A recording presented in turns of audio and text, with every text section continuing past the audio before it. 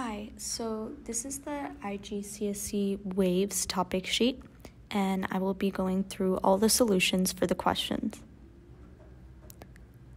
The first question states on figure 8.1, it shows the security and waiting areas at an airport. Question A states Figure 8.1 shows several situations in which regions of the electromagnetic spectrum are being used. Table 8.1 gives three of these situations. State the name of the region of the EM spectrum which is being used in each situation. So, for this, you should have memorized before the exam the uses for each of the EM spectrum waves. Um, for the girl listening to the radio, it's radio waves. For the boy using mobile phone, it's microwaves. And for the security guard checking bags, it can be x rays or visible light rays. Part B states all waves can be reflected, refracted, and diffracted. State two other properties of waves in the electromagnetic spectrum. Uh, the first one is that they can all travel through a vacuum. The second one is that they are transverse. And you could also say, as another uh, similarity between all EM waves is that they travel at the same speed, which is 3 times 10 to the power of 8 meters per second for IGCSE purposes. Part C states state two safety precautions for working with sources that emit gamma radiation. The first one is to limit exposure time. The second one is to perhaps encase um, the objects with gamma radiation in a lead shield or to use tongs slash maintain a distance from the gamma radiation source. Now, on to the next page. The second question states two students, A and B, determine the speed of sound. They are standing side by side at a distance of 520 meters from a wall, as shown in figure 7.1. Student A makes a loud sound by banging two blocks of wood together once. A short time later, both students hear the sound reflected from the wall. State the term for the reflected sound. Uh, this is simply an echo. Part II states Table 7.1 lists properties of a sound wave. Compare the properties of the original sound and the reflected sound. For each property, place a tick in one column. Uh, so the properties that will stay the same are the speed, wavelength, frequency, and the fact that it's a longitudinal wave. And the characteristics that will change between the original sound wave and the echo is the loudness and amplitude. This is because when reflected, energy is lost due to absorption by the wall plus scattering. Uh, and less energy means particles don't move as far apart. So the amplitude um, reduces because the amplitude is simply the max distance particles in a medium move from rest position as a wave passes. Um, and we all know that amplitude is what determines the loudness of a sound wave. So when amplitude decreases, so does the loudness. Part B, part I, states student B measures the time between the original sound and the reflected sound. Suggest a suitable device for measuring the time interval between hearing the original sound and hearing the reflected sound. This would be a stopwatch. And part II states the time interval between hearing the original sound and hearing the reflected sound is 3.1 seconds.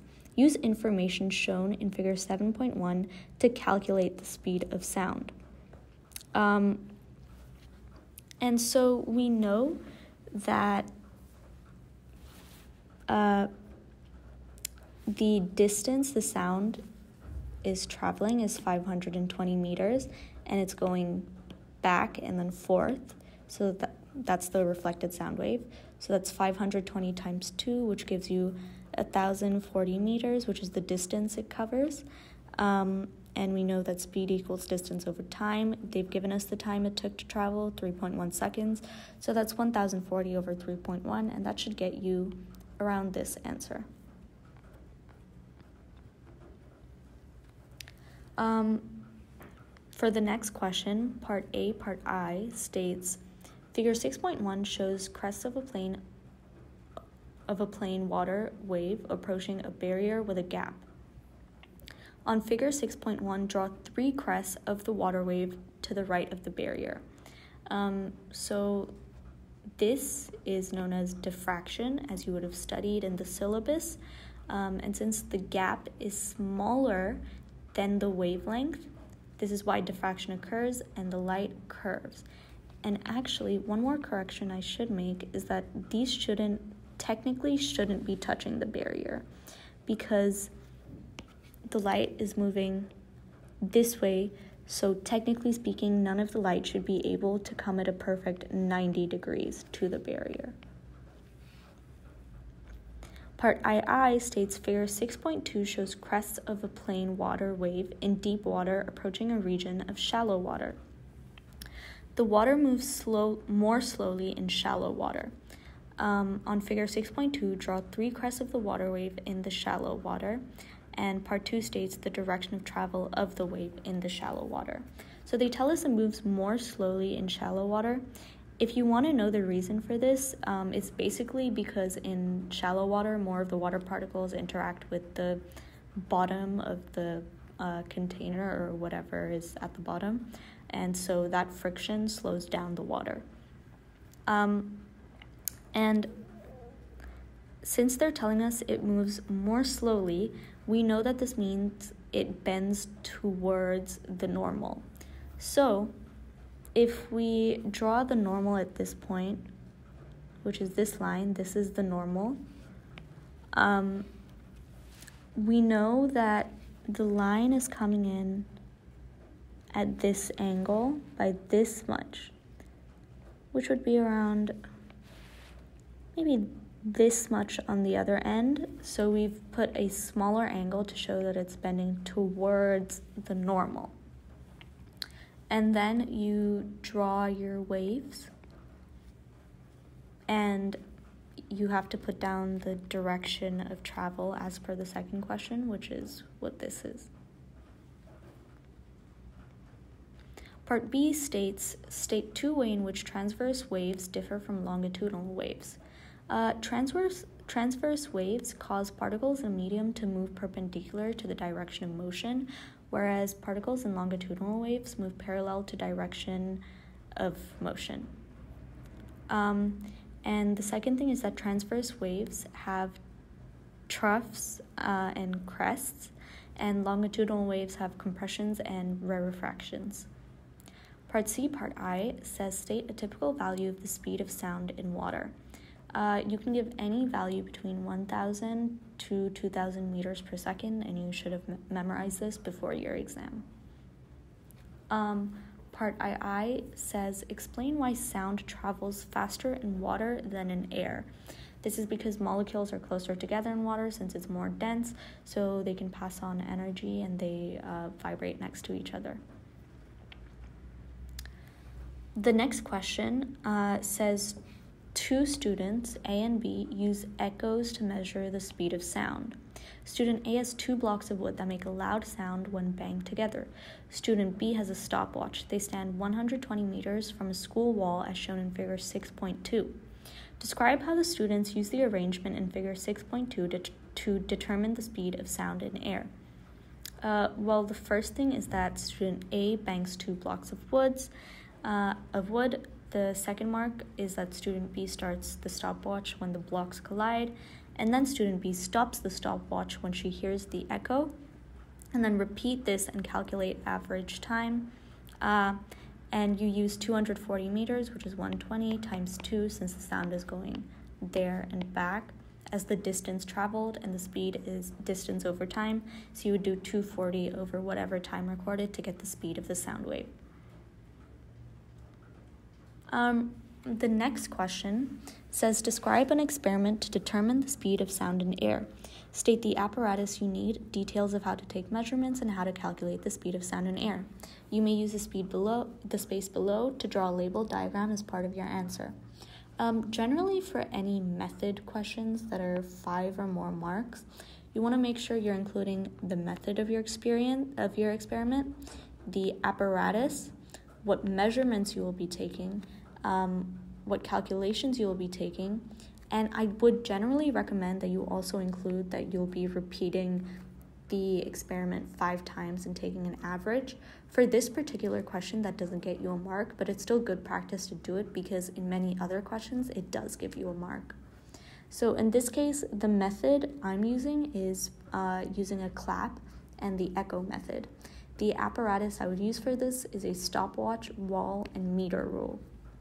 The measurement I would be taking is to measure the distance between the person and the wall and the second measurement is to start the stopwatch when the person claps and stop it when the echo is heard.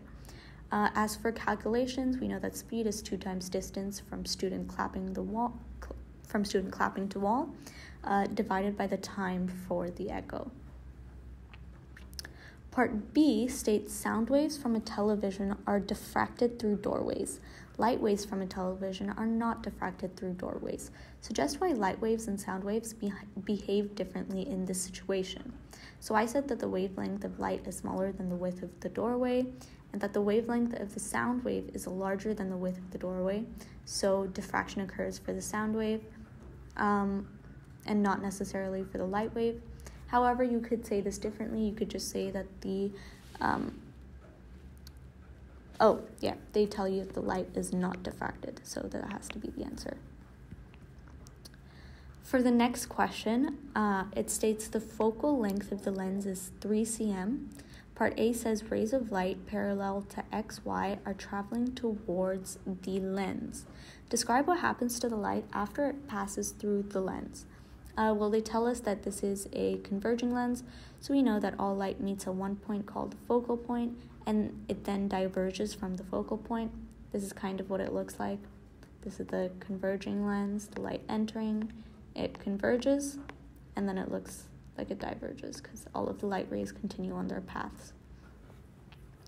Part B says on figure 7.1, mark and label with an F each of the two principal focuses on the lens.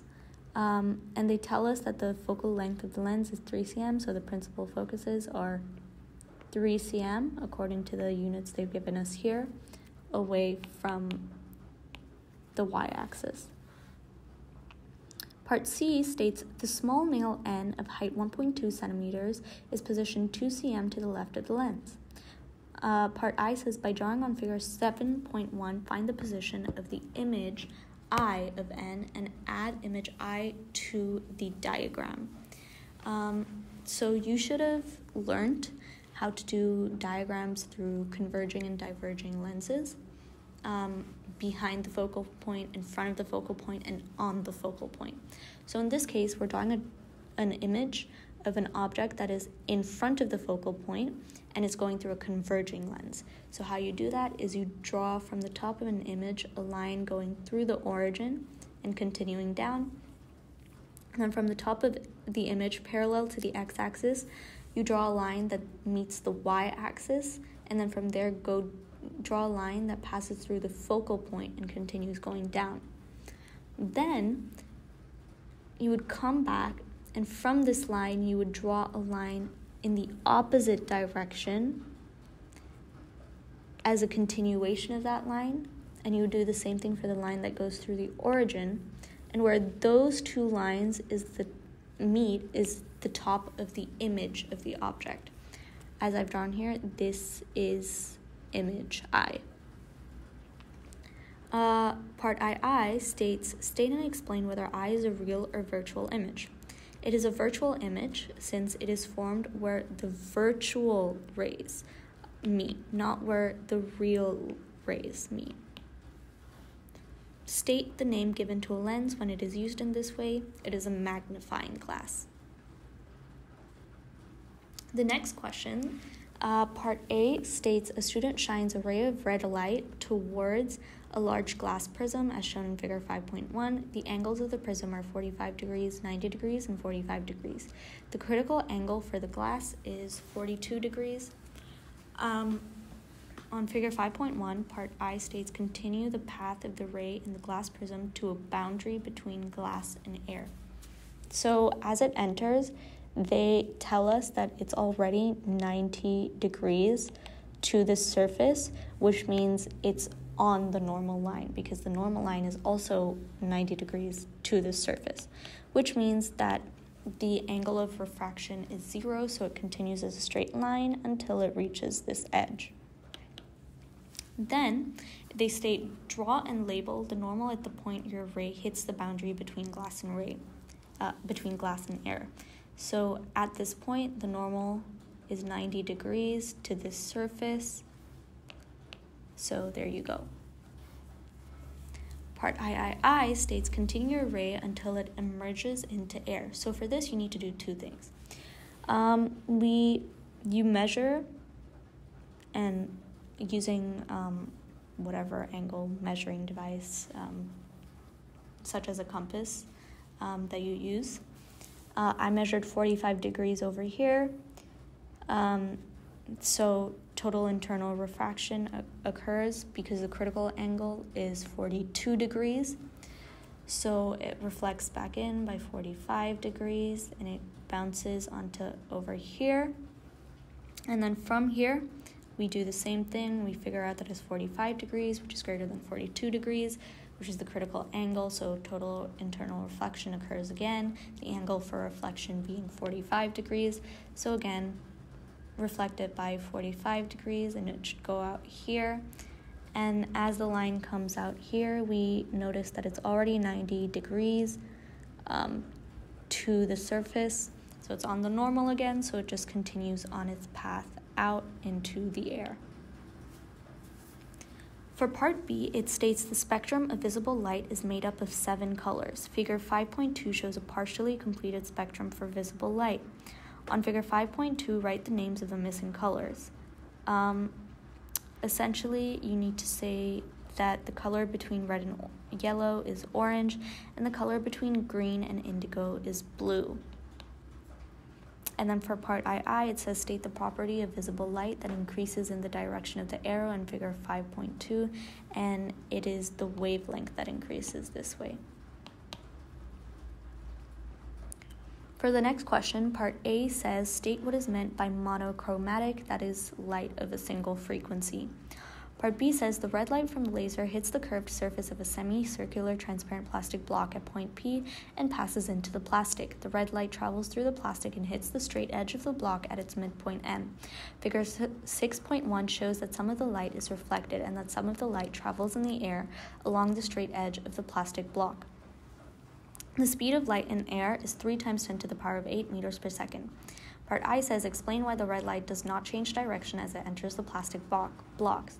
That's because this is the red light entering, and as we notice, uh, it's any ray of light entering is always going to be perpendicular to the tangent, which means it's always going to be the normal. So the angle of ref- refraction is always going to be zero. So it's just going to continue on its same straight path into the uh, semicircular transparent plastic block.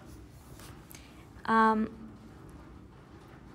Part II says at M, the angle between the red light and the plastic and the normal is 37 degrees. Calculate the speed of the red light in the plastic. So we know, now we need to bring in some of the equations that we know. Um, we know that refractive index is equal to speed of light in a vacuum over speed of light in the substance. And the speed of light in the substance is what we're trying to find. In this case, the substance is plastic. Uh, we don't know what the refractive index is, but we do know what the speed of light in a vacuum is. Is the speed of any EM wave, which is 3 times 10 to the power of 8.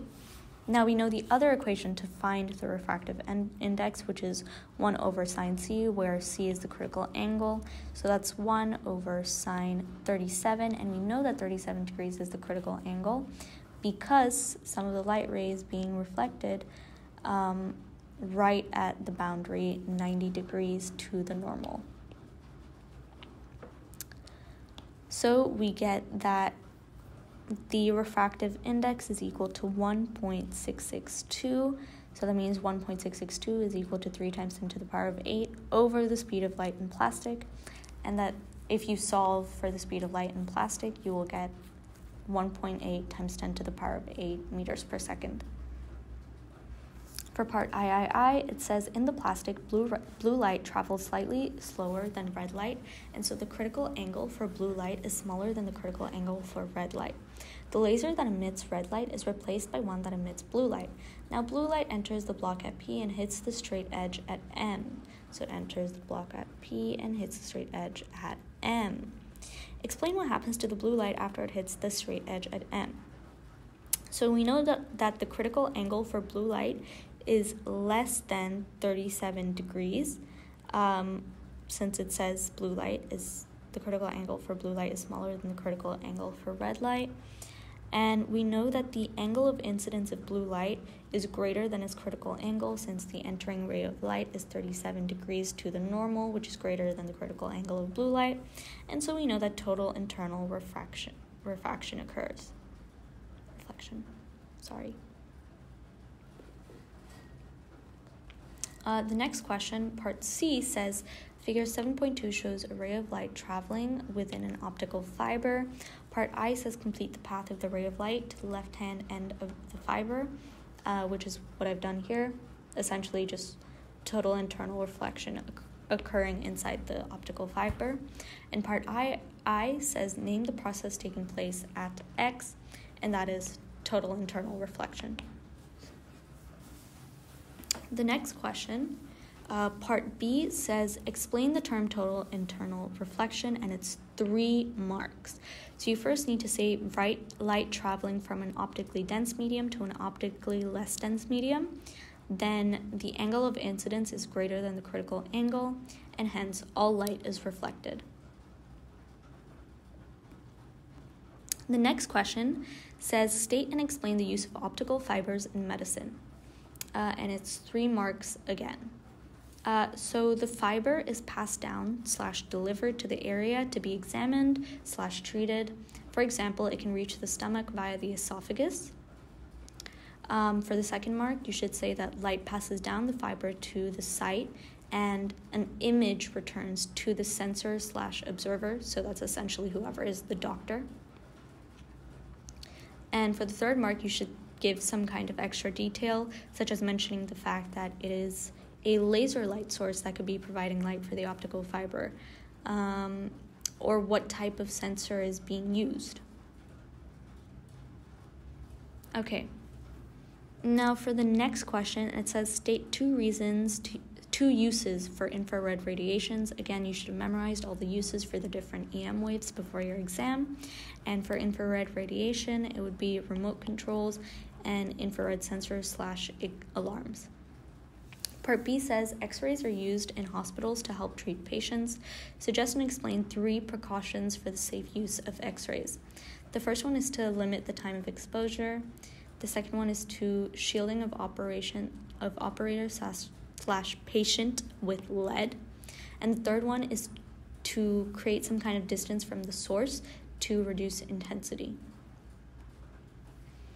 Um, part C Part I says state the speed in a vacuum of one microwaves, which is three times 10 to the power of 8 meters per second, and two X rays, which is also three times 10 to the power of 8 meters per second because they're both EM waves and they travel at the same speed in a vacuum. Part II says state a possible frequency for an ultrasound wave, and essentially is anything above 20,000 hertz. Again, you should have memorized this before your exam. The next question says Describe and explain the action of optical fibers in communications technology. You may draw a diagram in your answer. I've not drawn a diagram, but what you can say to get three marks is that light slash infrared waves travel in the fiber. Uh, total internal reflection occurs in the inner surfaces of the fiber, and the light carries information slash signal slash data. And yes, that is the entire solution for the waves topic sheet. Thank you.